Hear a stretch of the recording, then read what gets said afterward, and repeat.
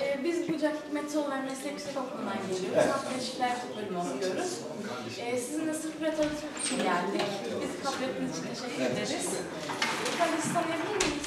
Ben İlker Develi, televizyon açıyorum. Aynı zamanda sunuculuk ve sahne gösterileri yapıyorum. 40 yaşındayım. Peki, ee,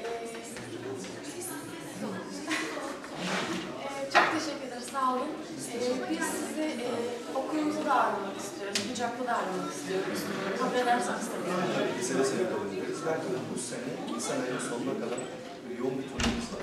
Turneden sonra ancak böyle bir şey olur. Seve seve gideriz. Peki, çok teşekkür ederim, çok sağ olun. Çok sağ olun. Evet. Okey. Tamam.